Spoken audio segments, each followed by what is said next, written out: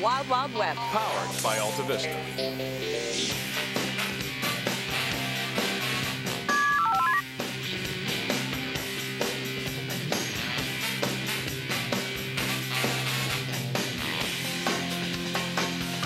This week on the Wild Wild Web, Get ready for the next wave of online gaming. the best thing about waking up online, rockapella. Justin Hall and Homepage make it to Sundance. And what to do about MP3, the latest controversy on the latest technology. Only on the Wild Wild Web. Justin Hall had cult status in the early days of the web, and I have to admit, when I saw the piece being edited in the other room, I thought to myself, I have visited Justin's pages in the past. Links to the underground, I followed his days at Swarthmore. Well, from his life on the computer screen, it's now moved to the silver screen. And we caught up with Justin Hall at the Sundance Film Festival promoting his movie Homepage.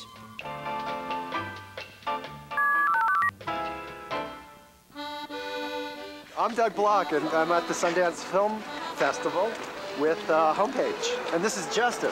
I'm the subject of Homepage, and uh, Doug met me online, and uh, he started hanging around my life. I was Yeah. doing my thing, making web pages. Oh, he took a lot of footage, and uh, I got him to make his own website, and he made his own website, and it, it uh, made Doug Block a new person. And the movie all about it is shown today. Justin, you're supposed to do this in 20 seconds. oh well, I was I was Stop expanding. I on, was man. going off. Sound bites, sound bites. Homepage is a movie about the human experience on the internet, a theme which compelled veteran documentarian Doug Block to search the net for obsessive users and site creators like Justin Hall, whose lives he would chronicle on film. One philosophy prof here, I said to him, I went up to him to ask him to support my major or support my class, support some of my efforts here institutionally. You know, I'm just doing all these things that are all from these.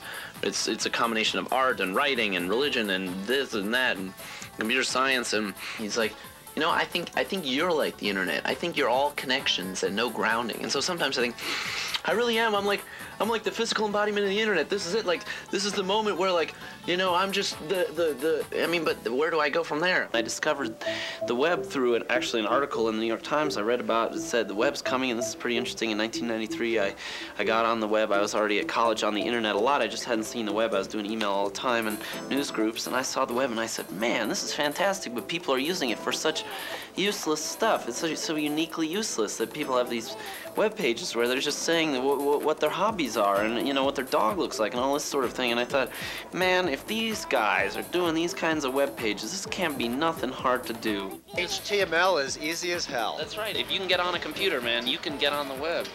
You can make web pages like Right. that. Making good web pages is the, you know, is the trick. During the making of the movie, Doug Block realized that in order to understand the compulsion to create a homepage, he'd have to make one of his own. The web drew Doug in, and he was inevitably drawn to sharing his personal story around with all these people that he was filming. Well, the- the and so teaching him was a, a, a process of watching this person unfold into what it was that they thought they'd simply be chronicling, and in fact they were joining. Aw. So that came full circle. Come on, give me a break. Click on the other, the old Netscape window there. Try, uh, uh, make it look spiffy. I found, as a young writer, the power, mojo stories were the ones that people didn't want to talk about. I mean, the skeletons in the family closet, the skeletons, you know, what happened between you and your girlfriend that, you know, was really genesis, the stuff that originated the whole relationship. That's the stuff that makes people write letters, that makes people say, no one ever talks about this stuff. Well, they don't talk about it because it's embarrassing. The themes of the film started emerging. And to my surprise, the biggest theme was the search for intimacy, the search for making real life relationships work.